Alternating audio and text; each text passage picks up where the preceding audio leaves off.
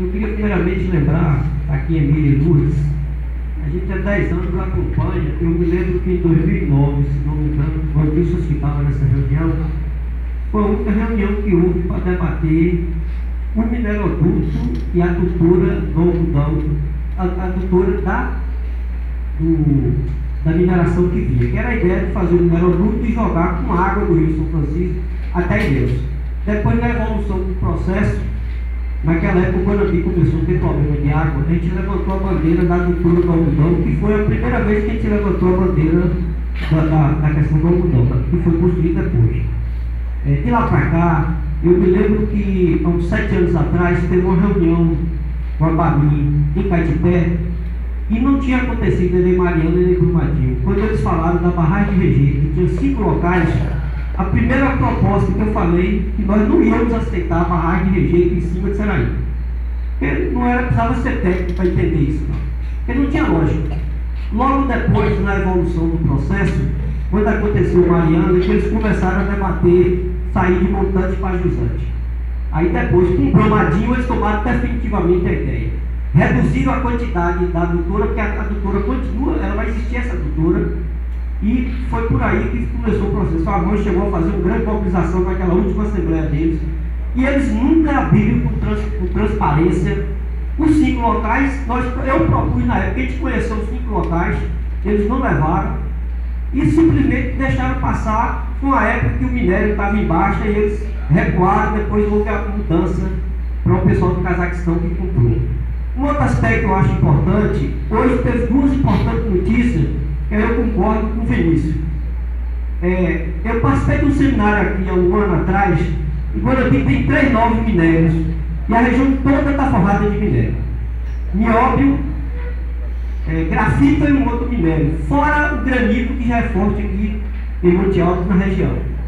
É, o governo do estado lançou hoje o chamado Polo Mineral do Vale da Paraíba, que inclui Caetité, a região toda, Licínio de Almeida, Paramirim, são, são diversos, são cerca de 37 minérios em diversos municípios da região. Não significa que não é só a questão do minério de ferro, nós vamos ter um grande debate sobre mineração. E aí, tem que ter clareza. Ou a gente das cidades vizinhas, Guanambi, pensa na, como é que vai ser esse processo de exploração, ou então eles só vão sugar o que tiver daqui e nós não vamos ganhar nada. É o que está propondo em relação ao problema de Caeté. Sabe uma outra matéria que é interessante as pessoas identificarem? que a Bahia Mineração vai ter, no preço que está hoje o minério, um lucro de 2 bilhões de dólares por, por, por ano. Ou seja, se a gente não pensar nas coisas direito, a gente vai receber uma barragem do Lama com 180 milhões de metros cúbicos acima de Seraíma e não temos nenhum retorno do ponto de vista econômico. E aí eu queria encerrar dizendo da importância que teve do movimento. Eu acho que aquela sessão na Câmara, depois a criação do movimento Vida Sim, Barragem Não, a manifestação que deu uma repercussão nacional e, e estadual, e para não dizer internacional, porque eu, eu falo, eu monitoro a questão internacional pelo meu blog.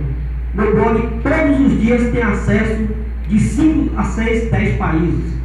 Bielorrússia, Rússia, Estados Unidos, China, tudo vamos, vamos focalizando das notícias que eles vão monitorando sobre riquezas.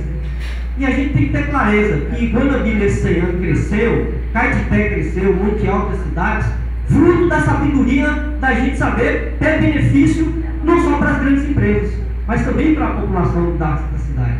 Então, nesse sentido, eu queria encerrar dizendo da importância dessa unidade, eu vejo nesse, nesse auditório hoje, naquela sessão, as manifestações das diversas correntes de opinião. Acho que nós devemos, primeiramente, eu acho que nessa audiência que vai ter lá, que o, o deputado Charles convocou, eu acho que nós devemos estar presentes. Para a gente ter nossa opinião, porque lá é um foco de luta.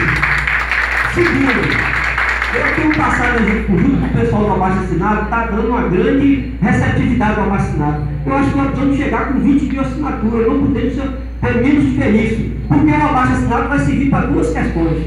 Primeiro, para você fortalecer a questão jurídica que não um pensamento isolado de uma pessoa, é de uma comunidade inteira. Segundo, porque nós vamos ter um instrumento para passar para a mão dos governador, para a mão dos deputados, uma cópia desse processo para o INEMA, falando que a população não quer esse local e quer discutir a forma da mineração.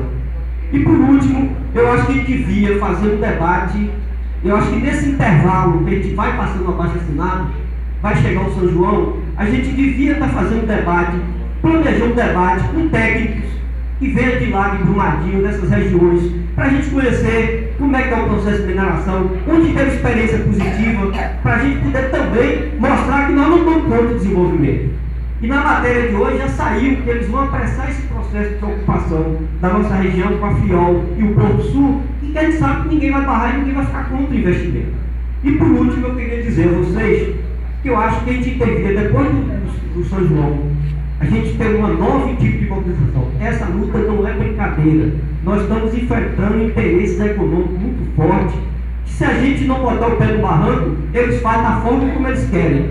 Constrói a barragem e daqui a, a 15 já vai estar cheia, e daqui a 30 nós vamos ter uma, bomba que vai estourar, ou até antes, 15 anos, vai estourar na mão da gente. Então por isso que eu acho que essa unidade é fundamental. E está aí um exemplo. Se saiu alguma coisa para contrapor o nosso movimento, e até denegrir a imagem do movimento, isso é porque já sentiu que esse movimento é forte, tem unidade, tem cor, que é os interesses do Bonamento. Era isso e obrigado.